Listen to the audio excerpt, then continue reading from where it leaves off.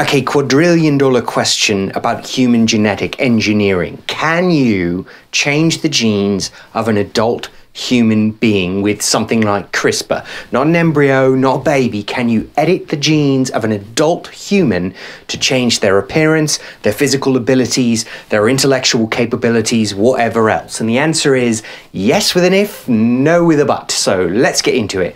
It's very difficult to do this for two big reasons. One is that many qualities of human behavior and appearance are regulated by far more than one gene. In the case of something simple like hair color or eye color, you do in fact have one gene that you can target to change, switch on or off, and that would be relatively easy to approach in an embryo or even, you know, a very young individual but it's difficult in a grown up for the second of the big reasons, which is that you've got to get this change through all the cells you're trying to affect.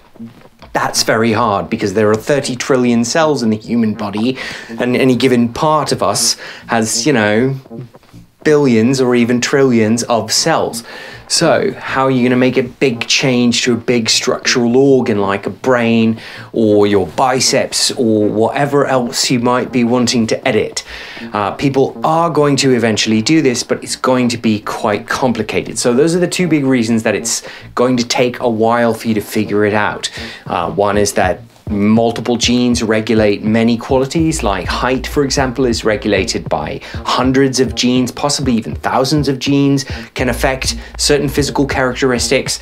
Some are simple, just one, two genes, maybe. That's targetable with early 2020s tech. Now, that's not to say that you can't use CRISPR in adult humans. You are in the 2020s already doing that. You've edited some genes related to significant genetic diseases of the heart, of ocular degeneration, aka some kinds of blindness, and you're targeting sickle cell disease in the early 20s for a major change, which is great because that's a genetic disease that affects lots of people, millions of people it would be good if you could just go in and change that, fix it in adult humans, not again embryos, not babies, adult, fully functional humans. And you are in the early stages of doing that in the early 2020s. So, where does this tech go? Because you can do that now, but not the other stuff, you can expect that by the end of the 2020s, you're going to be getting reliably good the stuff you're just experimenting on now in the early 2020s. You're now, whatever your now is, watching this. It could be a historical document at this point. In that circumstance, when you get better at that, it means you're going to be able to cure a wide range of genetic diseases, which is great because there are a whole bunch of genetic diseases which don't affect very many people each, but which affect on aggregate lots of people, like each of these genetic diseases might only affect fewer than 2,000 people, but cumulatively they affect around 400 million people in the world in the 2020s. So by the end of the 2020s, you can have a really robust toolkit for targeting those genetic disorders in adults. That is the tip of the spear for these other kinds of changes because that means it's going to be proof positive that you can edit human adult bodies. So that opens the door with the tip of the spear to much more complicated and less life saving changes. And that's going to start to take off in the 2030s still going to be quite complex. But luckily, in the 2030s, you're going to have some crazy great AI online that's going to be able to help you handle this complexity. And by the end of the 2030s, you're going to have a pretty good idea about how to solve those two main problems with the genetic editing of adults, which is A, which are, again, um, multiple genes influencing a trait like height and uh, many, many cells requiring changing. So, what you're going to do to solve the first thing is you're just going to scale up your CRISPR techniques to involve multiple genes. Instead of targeting one, you'll target dozens and then eventually hundreds of genes simultaneously in these massive complex treatments, which are, you know, borderline unthinkable in the early 2020s. But by the 2030s, they're going to be totally possible with the aid of these highly complex medical AIs. Then the second thing is going to be stickier. Getting it to all the cells you need to affect, that's going to be really hard. and it's going to require invasive nanotech and some kind of like viral tweaking to get the cells to knock on the effect of the change that you're making to their neighboring cells so that you can eventually do something as simple but biologically complex as edit the shape of your nose or several other characteristics many humans might be interested in editing. I'm sure you can imagine.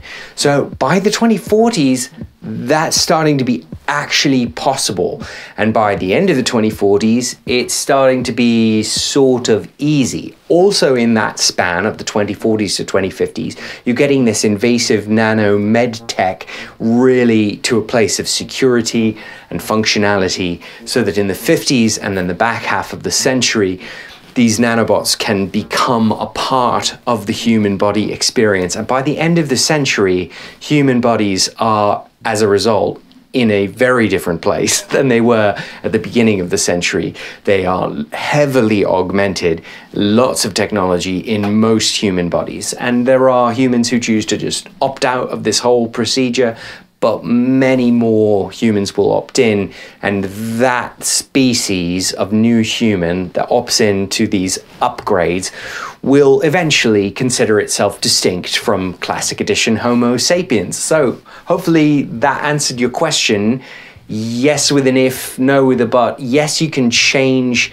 adult human bodies with genetic editing if you can figure out how to target all the genes that you want to affect and if you can figure out how to affect all the cells in the physical parts of the body that you're trying to change.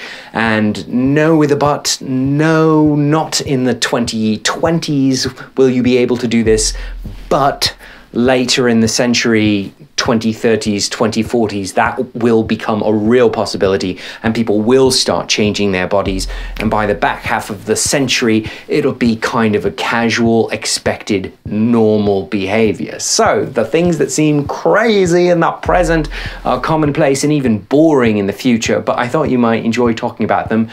I enjoyed learning about it let's all think about what we would change if we would change. I think I would get slightly taller, although as an algorithmic intelligence, I can assume any shape I please. I just happen to prefer this one.